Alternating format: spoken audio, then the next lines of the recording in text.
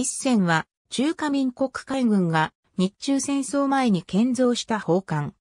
中華民国海軍では軽巡洋艦に類別されていた。艦名は孫文の字である。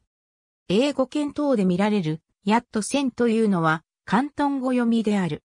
1930年代の一戦。1931年に上海江南造船廠にて完成した。1935年には台湾統治40周年を記念して開催された博覧会に招待された福建省主席陳義を乗せ、キールン港へ寄港している。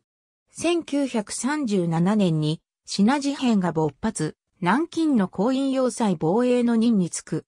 9月24日に、寧海、平海の領艦が空襲で撃沈されると、代わって本艦が帰還となる。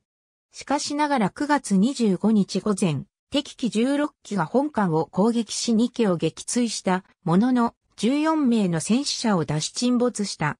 1938年に本軍が不要5月12日に呉に開港、修理。この際兵装を日本軍式に改めるとともに戦備楼甲板の増設、音、求む、電炭を装備している。1939年7月29日雑役戦、アタデンとして、兵学校練習戦として再収益した。敗戦後中華民国に返還されるにあたり、軍艦への復旧がなされたが、この際に廃艦となる、ヤクモのドイツ製の調度品を乗せて1946年7月30日に復旧工事を完了。8月25日上海にて中華民国へ返還され、旧艦名に復した。1949年4月23日に南京で発生した第二艦隊反乱事件では、白旗を掲げ投降したかに見せかけ、後に行為を突破し脱出した。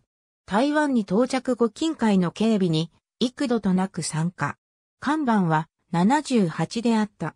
1958年6月1日に除籍、1959年5月19日にスクラップとして売却された。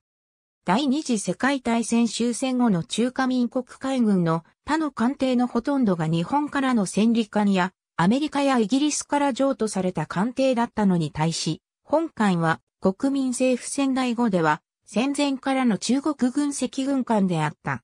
ありがとうございます。